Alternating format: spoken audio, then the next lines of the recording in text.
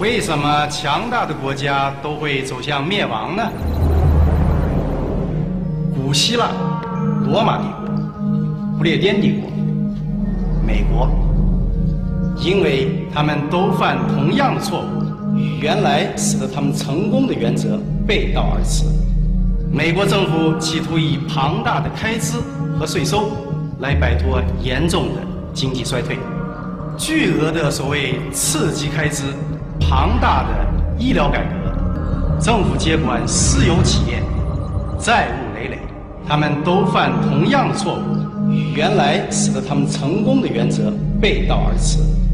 美国政府企图以庞大的开支和税收来摆脱严重的。政府接管私有企业，债务累累。当然，我们是他们的大债主。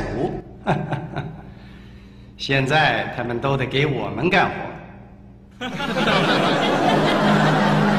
You can change the future to stop the spending that is bankrupting America.